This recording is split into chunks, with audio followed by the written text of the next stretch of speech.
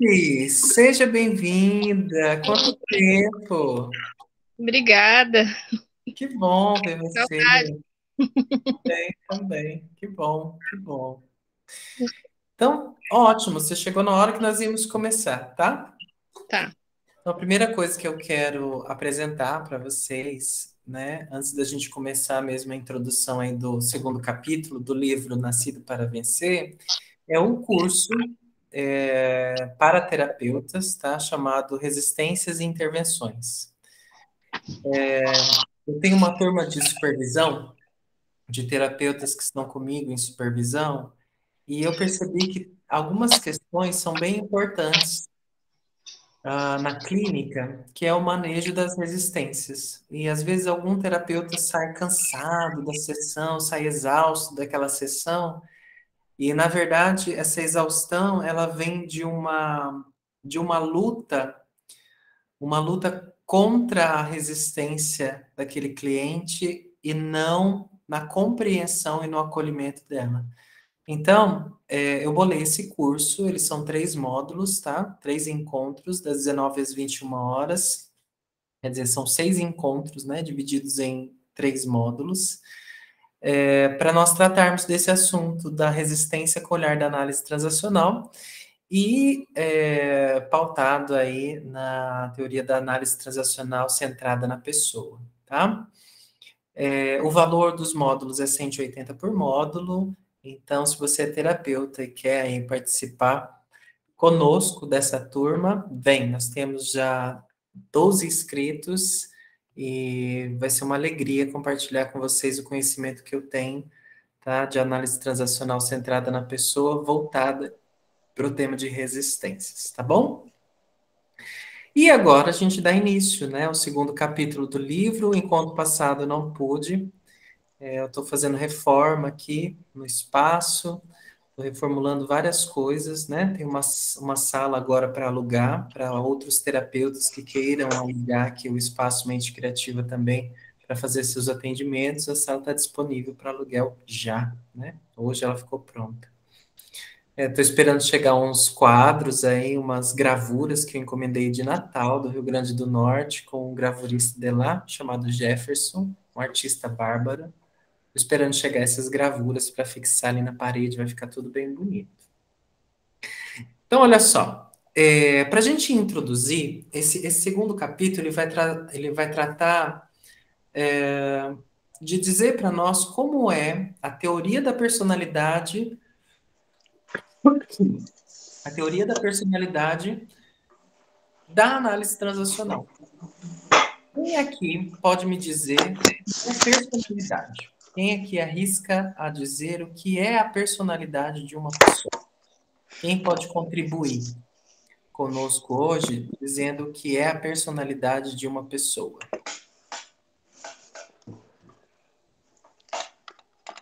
Pode usar o áudio, pode usar a área de texto. O que é a personalidade? Quiser pesquisar no Google também para se inteirar do que é personalidade, vou dar uns três minutinhos aí, tá? Para vocês refletirem e contribuírem com o nosso grupo de estudo. O que é personalidade, hein?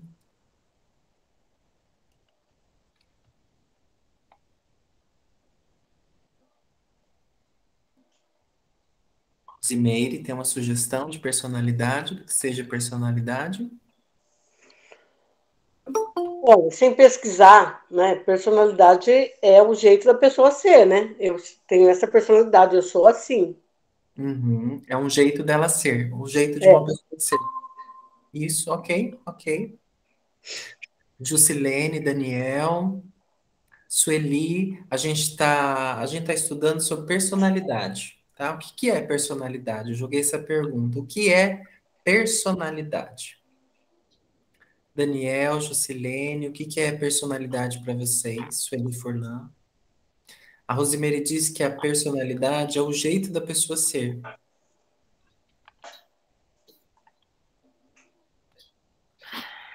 Ah, eu dei dois minutinhos também para quem quiser fazer uma pesquisa no Google, pode fazer também uma pesquisa no Google para trazer informações sobre o que é personalidade.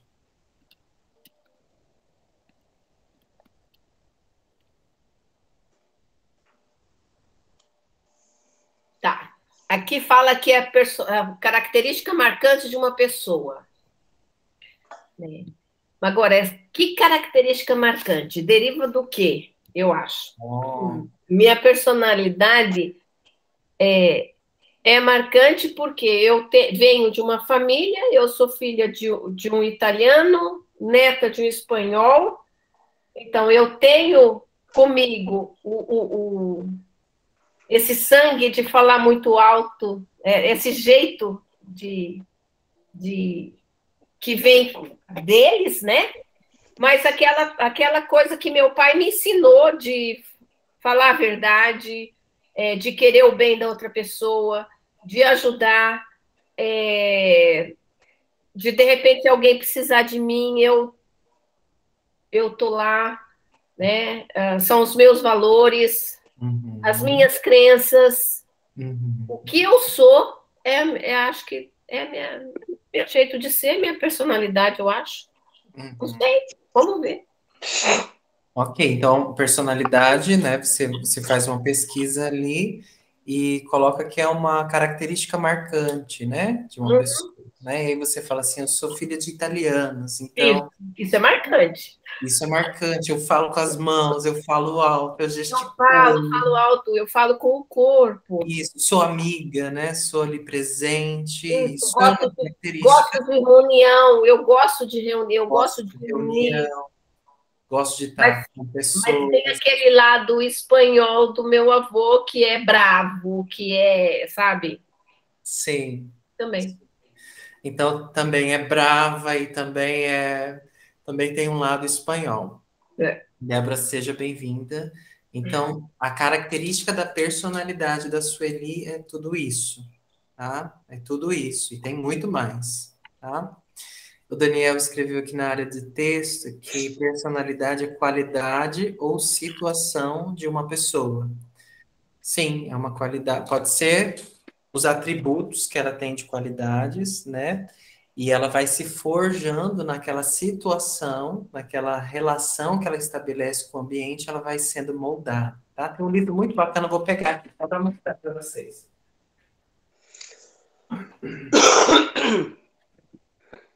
Ó, uh, existem muitas, muitas. Oi, Jússi, pode falar. Pode falar, pode abrir o áudio e falar. Eu tô com um pouquinho de dificuldade aqui. Bom, para mim é o que define a personalidade de uma pessoa é a forma dela pensar, dela agir, e geralmente vem agregada realmente a como a gente foi criada, né? Muitas vezes. O modo de criação vai influenciar muito na personalidade. Sim, sim. Justo. Sim, sim, a educação vai, vai influenciar muito na personalidade, tá? Muito bom, muito, muito boa a sua contribuição. Olha só, é, existem muitas teorias que vão discorrer a respeito da personalidade. Tá? Então, a psicanálise vai olhar a personalidade de uma pessoa de uma maneira, né? o jeito da pessoa ser de uma maneira. Uh, uh, a Gestalt vai olhar aquela pessoa, aquele indivíduo de uma outra maneira. Tá? Uh, a psicologia sócio-histórica vai olhar o indivíduo de uma outra maneira. E a análise transacional, ela olha para a personalidade de uma pessoa também de uma maneira distinta, tá? Para quem gosta de, de, estudar sobre personalidade, este livro é fabuloso, tá? Teorias da personalidade. Aqui tem várias teorias. É, é um livro bastante científico, tem várias é, citações.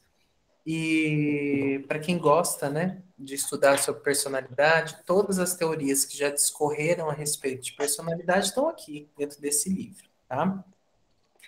E a personalidade para análise transacional, ela é dividida em três etapas. É como se três, três partes diferentes existissem dentro de uma única pessoa. Então, nós somos três ao mesmo tempo, tá? Como, é, como chega isso aí para vocês, ser três ao mesmo tempo? Tudo bem para vocês, ser três ao mesmo tempo?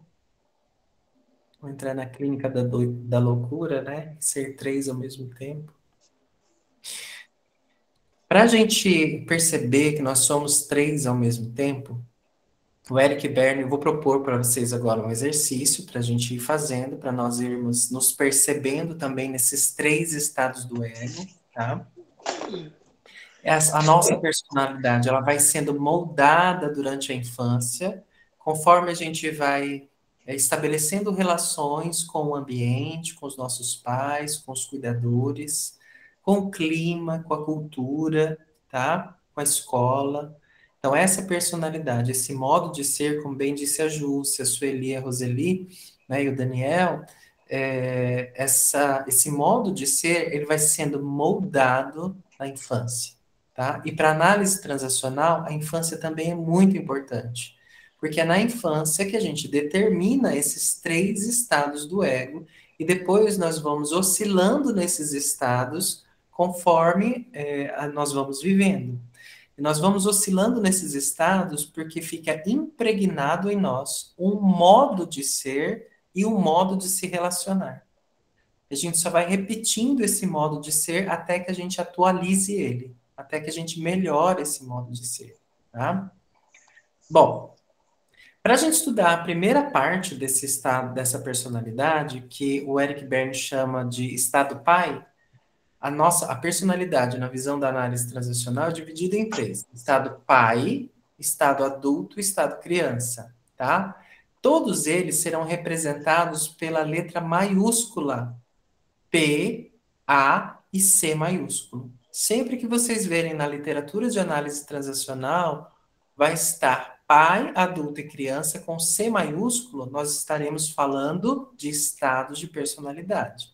Quando estiver em letra minúscula, estará sendo falado ou sendo citado um pai real, a figura parental, uh, um adulto real e uma criança real. Tá? Importante que isso fique claro para vocês. Agora, vamos pensar assim, ó. Esse é um exercício para a gente fazer agora, tá? Vocês vão pensar numa coisa que você faz é, hoje em dia e que você copiou dos seus pais, ou do seu pai ou da sua mãe, e que talvez repita essa ação do seu pai, da sua mãe com a sua esposa, com seus filhos, com os amigos ou com os companheiros de trabalho. Então eu quero que vocês tragam para mim é, dois exemplos daquilo que você copiou do seu pai ou da sua mãe e que você repete esse modo de comportamento dos seus pais hoje em dia com as pessoas na sua relação. Vou dar para vocês cinco minutos.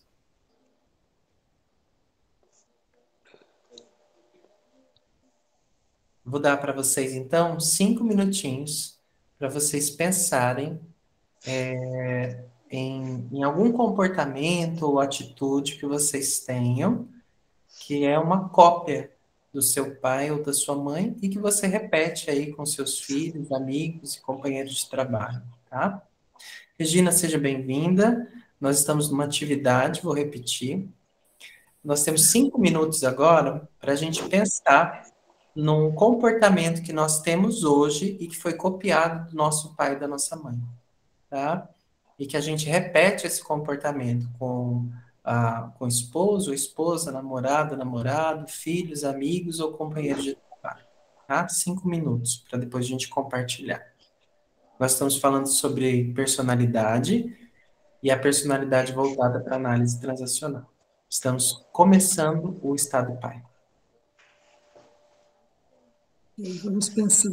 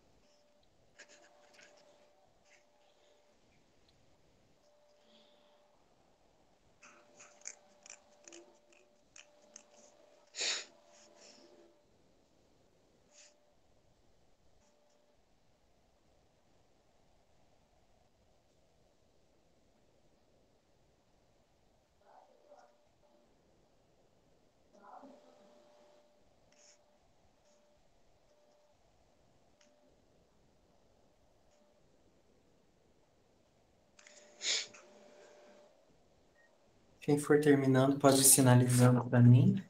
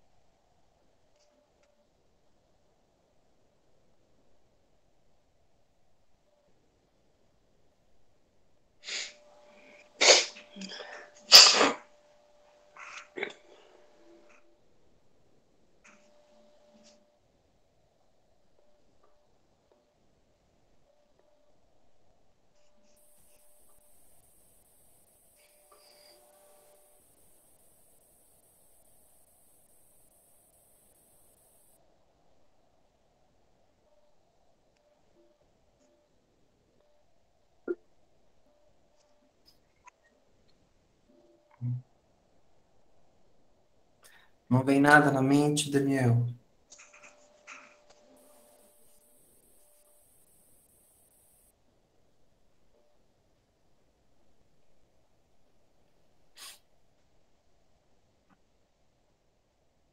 Tá tudo bem se não vem nada na mente, viu?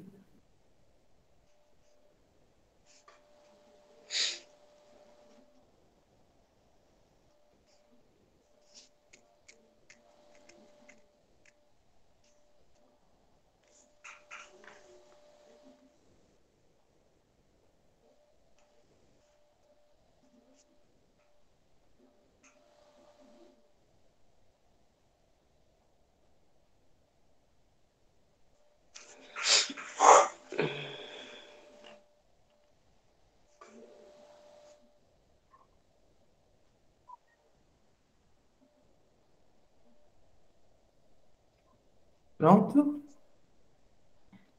Alguém já, já...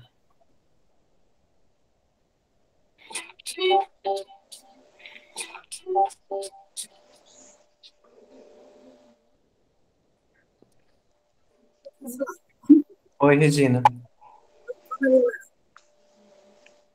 eu colocaria até várias coisas.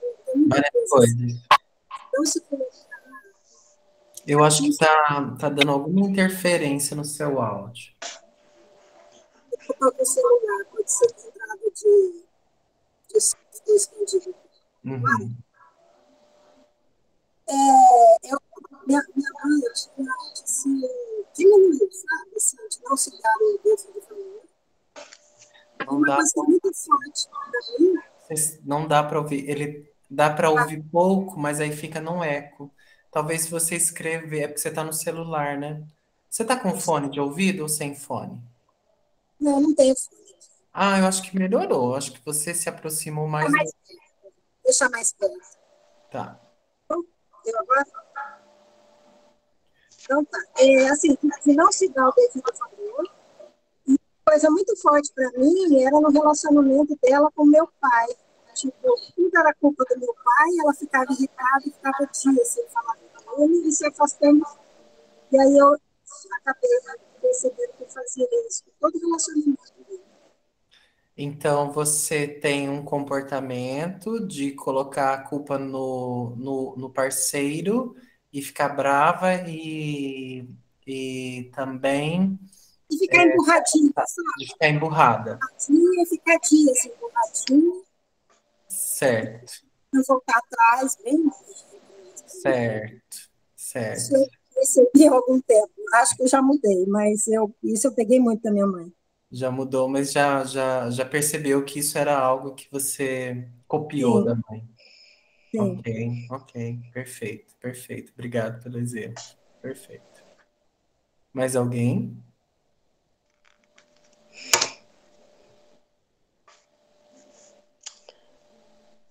Tá me ouvindo, William? Sim, perfeito, perfeitamente. É, foi um, é, um pouco difícil de. A gente acha que tem. Eu sempre achei que eu tenho personalidade forte. Certo. E essa personalidade forte, tanto meu pai como minha mãe têm personalidade forte. Hum.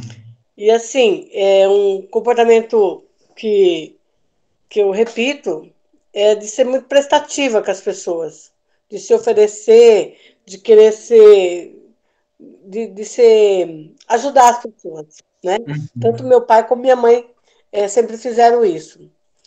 É, dá mais do que, do que a pessoa pediu. A pessoa nem pediu, a gente vai lá e se oferece. Uhum. Isso eu tenho melhorado muito depois das constelações. Certo, certo. Mas, assim, é, personalidade do meu pai, que eu, é, eu sempre tinha como, tenho como bandeira ah, falar a verdade, ser honesto, e a minha mãe já é assim. Eu falo, nossa, minha mãe não está falando a verdade. E ela, ela jura que está falando a verdade para outra pessoa, ela fala a verdade que convém. Então hoje eu lido melhor com isso, né? Uhum. Eu, é, é algo que é difícil para ela. Uhum. Mas isso me revoltava muito. Uhum. E aí eu, eu peguei a versão, eu sempre tive a versão a quem mente. Seu pai tinha a versão a quem mentia? Eu acredito que sim. Você mas... acredita que sim?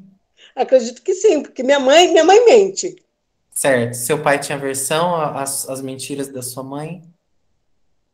Não, eu, é, a gente, eu nunca entrei em detalhe com isso. Assim, ah. ele não, não, não, não, falava assim, ó. Eu percebi que minha mãe mente, né? Eu nunca, ah. eu, ele nunca falou assim, sua mãe tá mentindo. Certo. Não, certo. ele nunca, ele nunca deixou isso claro. Tá, tá. Mas ele nunca gostou de quem, de quem mente. Ele falava assim, ó, quem uhum. mente rouba. Isso, isso. Quem mente isso. rouba. Então, e aí então... Eu, eu, falo, eu passo isso para minha filha. E minha filha tem momentos que ela não faltou com a verdade. Eu falei, ó, acabou a confiança. Uhum. Depois eu vou lá e reconstruo, né? Uhum. Mas assim, isso tem me incomodado. Ok, ok, ok. Então, veja, você aprendeu um comportamento com seu pai, né? É, de, de falar a verdade e também de de não gostar, não tolerar quem mente, né? Então, assim, uh, quem mente para você, você tem tolerância baixa com, com esse comportamento das pessoas, né? Ok, isso Sim. também foi um aprendizado importante, uma imitação, tá? Imitação do que como o papai fazia, um bom exemplo. Obrigado, Rosimeiro. Obrigado. Sim. Mais alguém? Sueli Furlan, Silene, Débora? Eu, Hoje eu tenho consciência, né, de que eu devo ter sido muito, muito rude com meu filho, entendeu? Uhum. Porque eu repeti a, a, a braveza com que eu fui criada, né? Uhum. Quer dizer, a gente. Então, hoje eu acho que eu, eu, eu devo ter exagerado um pouco, porque também em mim foi exagerado, sabe? Às vezes a gente apanhava sem motivo.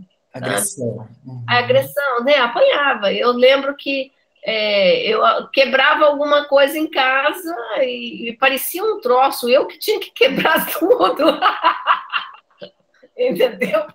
Né? E eu, eu, eu levava, mas assim, muito, bra muito brava mesmo eu fui em relação à educação. Em relação a quebrar as coisas, eu não repeti, porque meu filho chegou a quebrar uma peça que eu gostava muito, e a hora que ele quebrou, ele ficou assim com aquela mãe braba que ele tinha, né? Como que fosse, agora sim, agora eu apanho. E eu lembrei de quando eu era pequena, que eu apanhei por conta de quebrar uma coisa sem, sem ter querido quebrar, né? Você, você vai lá e pá, você quebra. Não foi isso, foi um acidente. Eu virei e falei para ele: tudo bem, filho, foi um acidente. A mama sabe que foi um acidente, né? Uhum. Quer dizer, então eu tive isso. E outra coisa que eu sempre escutei meu pai falar, e que eu continuo, é sempre assim: se eu puder ajudar, eu ajudo. Então, meu pai conta histórias de que ele precisava, quando ele podia ajudar, ele ajudava e sempre ajudou todo mundo. Hum. Então, às vezes eu, eu falo assim: puxa vida, mas eu podia fazer de menos, preciso fazer por mim, né? Então, eu me vejo, às vezes, eu me vejo fazendo, fazendo isso, né?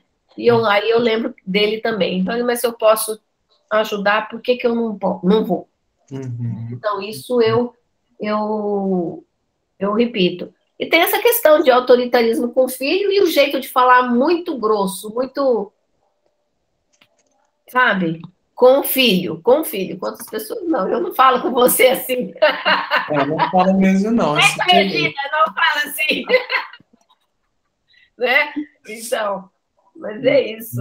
Ok, ok, olha só. Mais um exemplo aí, né, de imitação, daquilo que a gente imitou dos nossos pais, tá? De um comportamento. Jussi, é, Jusilene e Débora querem compartilhar alguma coisa? Algum, algum algum comportamento aí, que, algum aplicativo de modo operante que vocês baixaram aí dos seus pais? Eu, eu, eu acho que o meu foi o fato de, assim, sempre dar conta sozinha, sem ter que esperar muito dos outros, né? O meu pai é muito assim, né? Tipo, ah, não, eu vou lá e faço. Não adianta ficar esperando que os outros vão me ajudar ou que os outros vão esperar que, ai, né, que eles vão olhar para mim. Eu vou lá e faço. Uhum. Então, eu acho que fui por muito tempo assim. É, muito autônomo.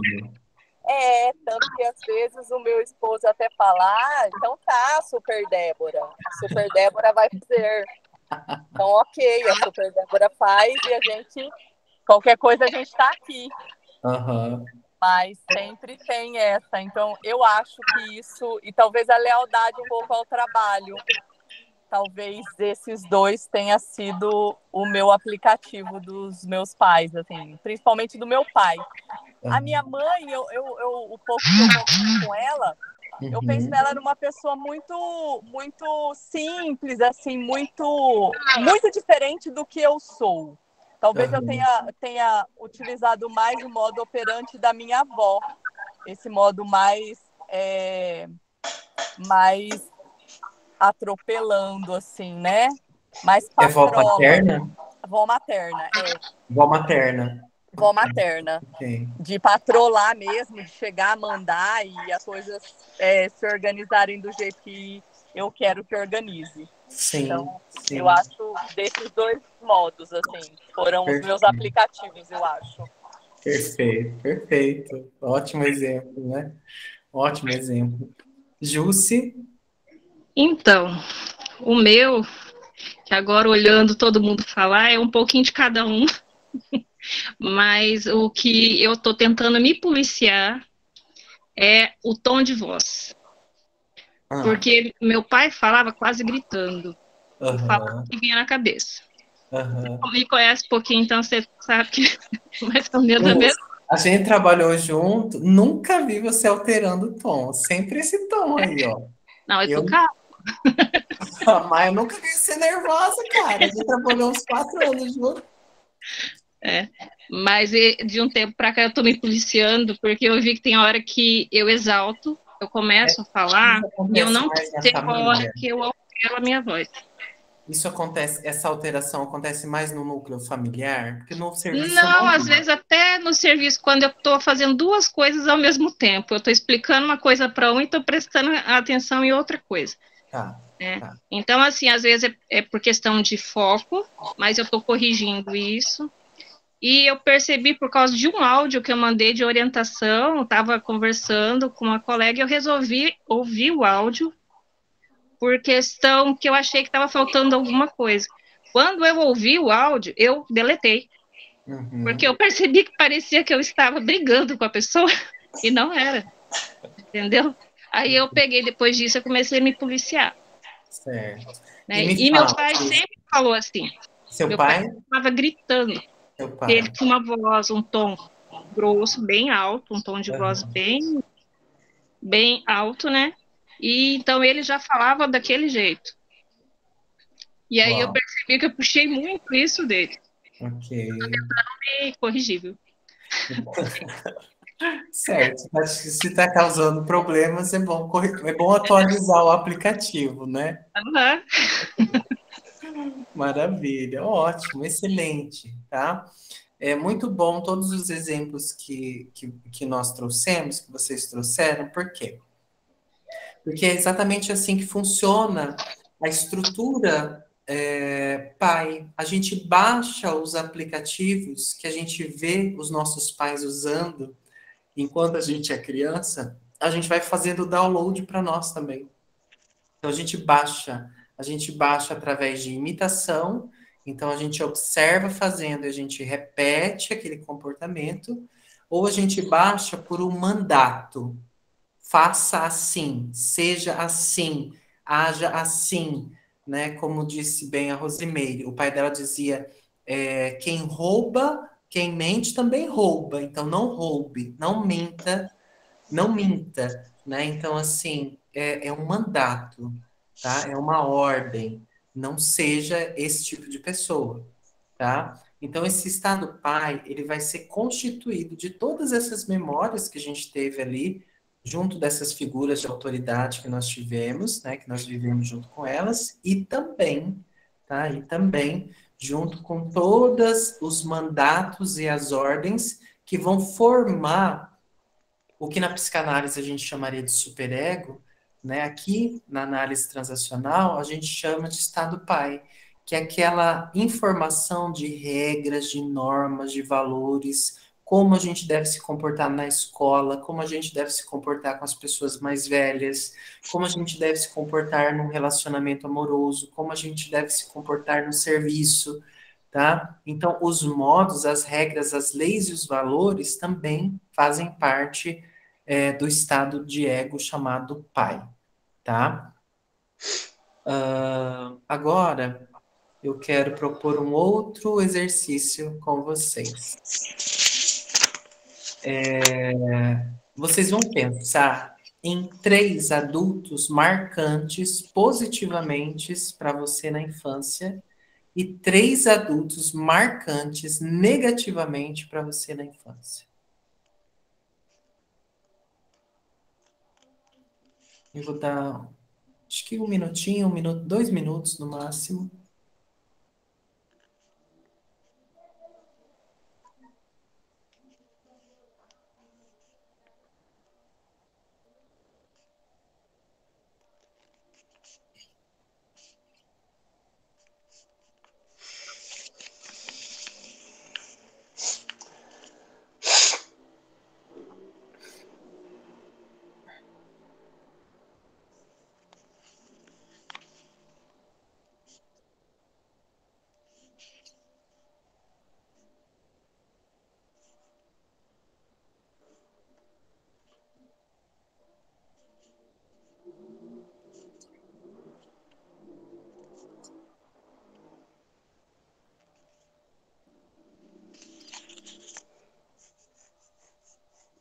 Não tem, Sueli.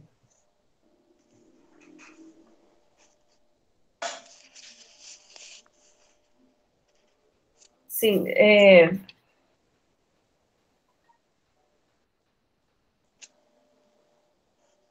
Não lembro. Não lembra. De adultos é, positivamente ou negativamente? É, quando eu criança, eu não, eu não sei se não era permitido a gente achar alguém chato ou alguém ruim, não era permitido, entendeu? Agora, depois, quando eu cresci um pouquinho, sim, aí eu vi o marido da prima da minha mãe que era muito chato, porque ele bebia muito, uhum. entendeu? Então, é negativo, era uma pessoa que, né? Agora, por exemplo, meu avô, meu avô era muito bravo, mas eu não coloco ele como negativo, porque é meu avô. Uhum. Eu, eu, eu, pensei nisso, entendeu? Mas realmente meu avô era muito bravo. E eu fui uma das únicas, uma das netas das únicas. Ah, três apanharam dele, eu fui uma das.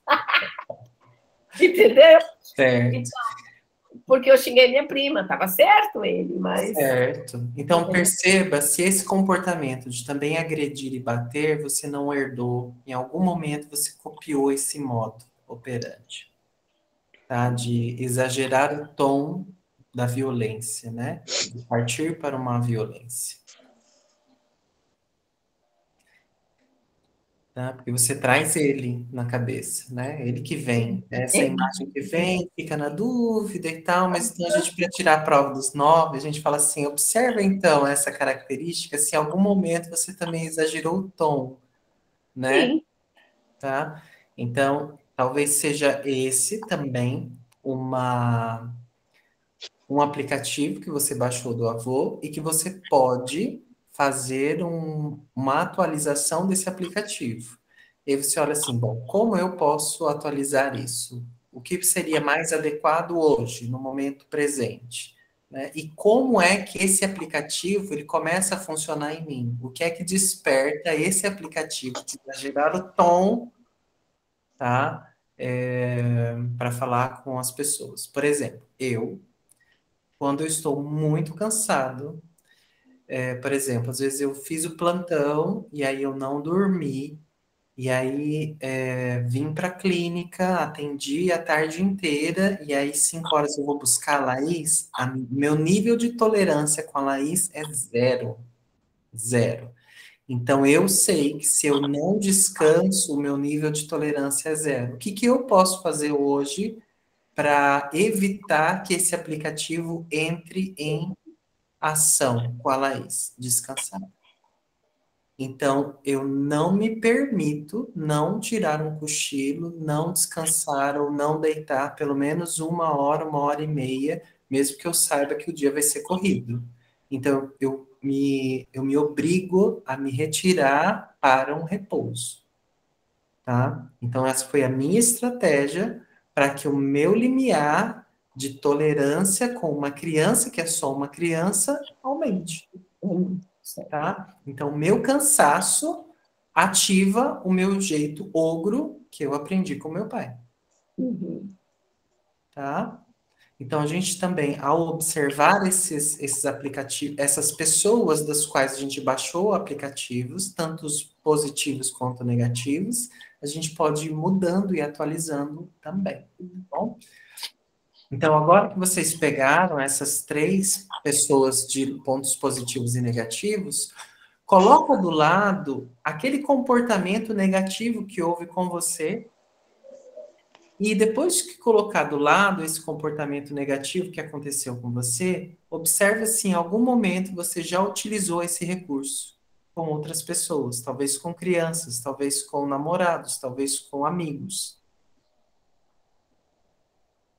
E ao observar que você já us, utilizou esse mesmo comportamento, você coloca então modos de atualização. O que é que você pode fazer para observar melhor este comportamento, especialmente aquilo que ativa o aplicativo em você.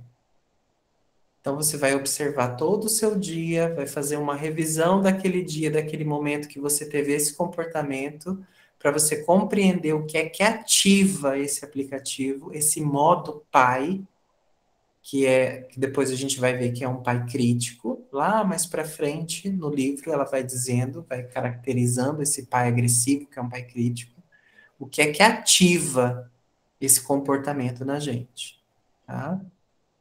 No meu caso, é o cansaço. No meu caso, é estar cansado, sem dormir. E agora, isso vocês vão fazer como tarefinha para casa, tá? Fazer como um momento de reflexão, vocês parem ali um pouco para refletir um pouco mais, algo para vocês. Agora, a gente olha para as três pessoas que foram marcantes positivamente e o que é que essas pessoas fizeram para você que foi tão positivo.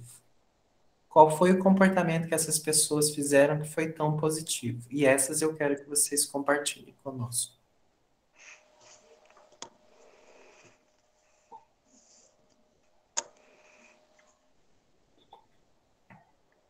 Vou falar, tá? Eu não tá. pensar muito. Tá. Uma pessoa muito marcante para mim foi minha avó paterna. Uhum. Porque, por fim, ela, ela sempre morou mais perto da gente e era uma pessoa sempre muito presente. Uhum. E uma pessoa acessível, você não era aquela, aquela senhorinha que está reclamando da vida, aquelas coisas assim. Ela sempre muito acessível e uhum. que ficava com os netos contando histórias, assim, sabe? Sempre tinha. Tomava tempo de qualidade para os netos, uhum. com os netos, não era muito interessante. Aí eu fui até um pouquinho além, eu botei irmãs da minha mãe. Uhum. Elas ficavam numa disputa tão gostosa para cuidar da gente. Então, assim, é muito gostoso lembrar delas, o quanto elas eram cuidadosas, assim, amorosas com a gente, com todos os sobrinhos, né? Uhum. Porque a minha mãe foi uma das primeiras que casou e todas casavam e tinham filho muito cedo, né? Então a gente tinha tias com, sei lá, cinco, seis anos mais velha que a gente só, mas um amor, assim, que era muito lindo, sabe? Então, tinha, assim, de... Né, eu nasci, a tia tinha 12 anos, quando eu tinha 5, ela tinha lá 17, mas com cuidado, que é uma coisa, assim, até hoje o amor por elas é imenso. E muitas coisas do meu pai e da minha mãe, que eles, eles davam aquelas paradas de cuidar, assim, de reunir a família e passear. Meu pai ia pescar, mas ele pescava com todo mundo, sabe? Ele chamava o tio, a tia, e, sabe, ia de Kombi, ia de Rural Willis, ia de caminhão, ia aquelas, sei lá, 15, 20 pessoas para o rio, sabe aquelas beiras de rio de família mesmo? De dar atenção, de brincar. Apesar do meu pai ser aquele tipo, né, que bebia pra caramba, era pinga mesmo.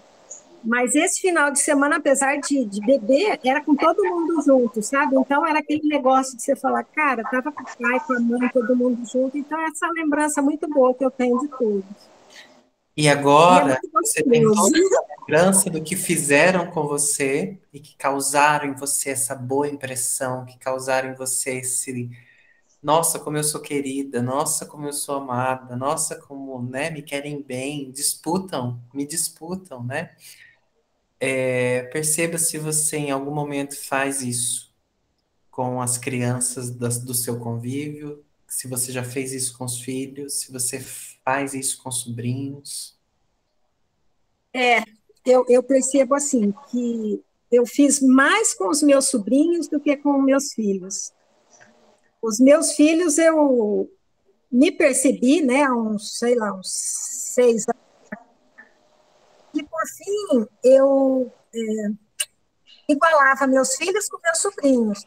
Eu tinha que dar presente para minha filha, eu tinha que dar igualzinho para minha sobrinha, ou seja, eu valorizava até mais as minhas sobrinhas do que meu, meus filhos, né? Agora, e aí eu agora um para falar, opa, primeiro meus filhos, né? Uhum. E comecei a tomar essa consciência, mas de um tempo para cá, mas é igual minhas tias. Mas, mas faz elas sentido. filhas, né? Por isso que elas cuidavam tanto da gente. Eu acho que realmente eu acompanhei esse ritmo. Sim. Sim, e faz, e faz muito sentido para você agradar tanto os sobrinhos, porque você também era sobrinha. É. Talvez você se sentiu muito amada e querida na, na posição e no papel de sobrinha do que na posição e papel de filha. Né? Então, assim, certamente o aplicativo ele baixa plenamente, não baixa partes, é. ele baixa pleno e a gente fala, ok, para sobrinhos, é assim que a gente reage. Para filhos, a gente age assim, como o papai e mamãe agia comigo. Então, a gente. E assim, eu coloquei o pai e a mãe, que eles tinham, né, de ter esse tempo de semana, Sim. tudo, mas na verdade não era a mãe. Era mais o pai que arrastava a mãe e a mãe. Né? Ia e ia. E o meu pai morreu muito cedo. Morreu, eu tinha 18 anos, né? Tinha, minha irmã tinha 9. E, e aí, com meus filhos, agora você falando, como eu empurrava meu marido para cuidar dos filhos. Olha, o aplicativo. Porque, realmente, quem, era mais assim, acolhedor, era o pai. E aí eu é, não me achava na, nesse papel né, de acolhedora. É um aplicativo, um aplicativo perfeito, né? Aplicativo, tá aí. Perfeito, baixou perfeito. Né? Então, é, é, olha como você estava sendo movida pelo Estado Pai. É. Você estava sendo movida pelo Estado Pai, o, o Estado parental. né? Eu estou, o meu ego, ele tem essas três partes, mas quando se tratava de família, filhos e sobrinhos, era o aplicativo do Estado Pai que, que gerenciava, né? Era esse aplicativo que estava ali disponível. Ah, perfeito, perfeito, Regina. Eu não vou, não vou abrir para os demais para a gente conseguir, para a gente finalizar aqui esse estudo, tá? Essa parte aí. A gente vai ficar nesse capítulo, no segundo capítulo, durante mais, mais dois encontros, porque aí, na leitura do capítulo, vocês vão perceber que ela vai falando pai, adulto e criança ao mesmo tempo. Mas eu achei mais didático a gente separar o estado pai num encontro, separar o estado adulto no encontro e separar o estado criança no encontro, tá? Eu achei que fica mais didático e mais compreensível para a gente absorvendo. Aí, dá 15 dias, aquele conhecimento já entrou, né? A gente já experimentou algumas coisas, tá? Então, trouxe aqui, ó, uma, uma parte do livro, né? Onde a James e a John Ward diz assim, contém o estado pai, né? Ele vai conter as atitudes e o comportamento incorporados de fontes exteriores, primordialmente pais exteriormente é muitas vezes revelado para os outros como um comportamento preconceituoso, crítico e educativo. Interiormente, ele é sentido pelo indivíduo como velhas mensagens parentais que continuam a influenciar a criança interior. Então, é um modo de como a gente deve se comportar e ser. A gente deve ser assim. Isso é como a gente sente mas ele é visto pelas pessoas ao redor como um estado muitas vezes preconceituoso, crítico, de fazer uma crítica, de analisar e criticar a realidade, não necessariamente destrutiva, mas fazer uma crítica, e também a capacidade educativa, tá? De, de colocar ordem, de colocar regras, de dizer como é bom, o que faz bem, o que não faz bem, tá? Essa parte está na página 32 do livro tá? do livro físico. E aí ela traz um exemplo, um exemplo da Sherry, com 22 meses de idade, ela ganhou um carrinho de boneca de Natal. E aí, em 22 meses, dá dois aninhos, né? Quase dois anos. E ela então tentou entrar dentro do carrinho, dizendo: Eu, neném, eu, neném. E aí ela tentava entrar dentro do carrinho de boneca que ela ganhou. Mas o carrinho era muito pequeno. Então, ela tentou pôr a boneca que ela tinha dentro do carrinho. E a boneca coube, deu certo. A Sherry guinchou, então. Eu, mamãe. Na hora que ela coloca o bebê dentro do carrinho, então ela escolhe, ela percebe que agora ela é a mãe do bebê que ela colocou no carrinho. E começou a puxar o carrinho, mas logo ela cansou da brincadeira. Agressivamente, a Sherry joga a boneca de lado e tenta de novo entrar dentro do carrinho de boneca. Mais uma vez, a Cher não consegue entrar. Frustrada, ela então coloca de novo a boneca dentro do carrinho, né, depois de tentar ir umas quatro vezes, e aparentemente ela aceita que agora ela é grande demais para entrar dentro daquele carrinho. Ela aceita então e escolhe agir com a boneca a partir do papel de mãe, tá? e ela começa a cuidar da boneca ou ter um comportamento com a boneca exatamente como a mãe dela fazia com ela. Tá? Então, quando a gente fala do desenvolvimento desse estado pai em nós, ele é desenvolvido desde a infância. Tá? Nós vamos desenvolver esse estado pai, nós já temos um estado pai nosso desde a nossa infância, a partir da observação de como nossos pais são. E a partir do momento que a gente consegue já olhar para o espelho e se identificar como a gente mesmo, a gente e separar que a gente é a gente, os nossos pais são os nossos pais, a gente já consegue imitar a atitude dos nossos pais, mesmo que às vezes eles vendo a atitude que a gente teve, né, não seja muito agradável para eles, porque às vezes são atitudes vergonhosas, né, que, que o próprio estado pai deles critica né, através de algumas atualizações de aplicativos novos, talvez mais atuais aí da sociedade, tendo aplicativos velhos, os pais ainda se envergonham, às vezes, de algum comportamento com aquela criança, né? Então, é... quando a gente fala de processo de desenvolvimento, né, o estado pai está aí desde a nossa infância e a gente tem copiado, né? A gente vai criando caminhos neurais através do exercício aprendizado da cópia, né, da imitação dos nossos pais, esse estado pai, tá? Uh, eu deixei aqui algumas notícias. Eu vou deixar, eu vou experimentar só essa. Como a gente entrou uh, 7h40, eu vou ficar mais 10 minutinhos aqui com vocês, só para a gente experimentar um olhar pai.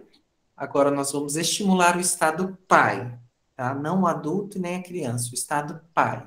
Vamos ler essa notícia através do estado pai. E aí eu quero que já abra uma discussão a respeito dessa matéria. Não, vou colocar isso aqui, ó.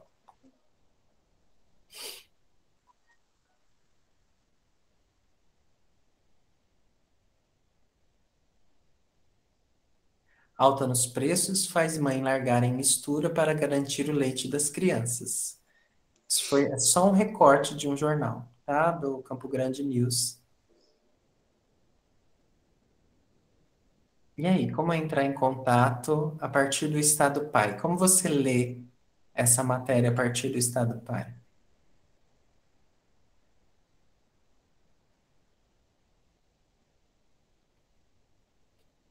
Não está um absurdo o preço do leite e das coisas no mercado?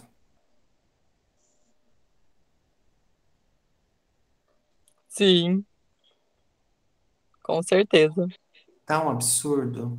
E como está uh, o salário de vocês está subindo em proporcional ao valor da, de tudo que está subindo? Não, ele quase que está diminuindo, né? Quase que está diminuindo, se não está diminuindo, né? Já diminuiu, né? Deveriam as mães largarem a mistura para garantir o leite das crianças? Não.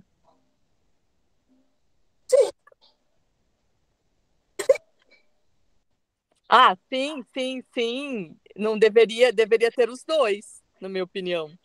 Deveria ter os dois, né? Certo. Mas não tem. mas não tem. O que é de valores? O que é de valores que vocês vão organizando dentro da cabeça de vocês? O que é de valores, de normas, de moral, de certo e errado, fica sendo maquinado ao ler uma notícia como essa?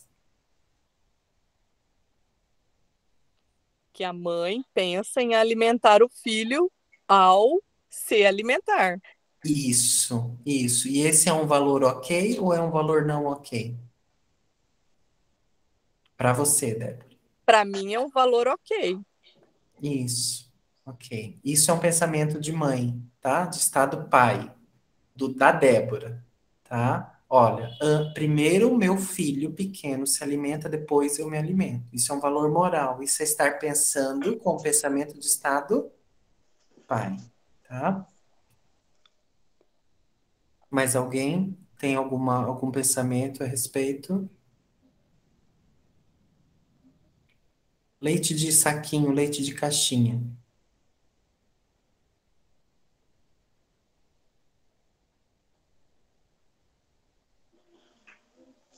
O que mais que vem? Crise econômica, crise mundial, crise no Brasil.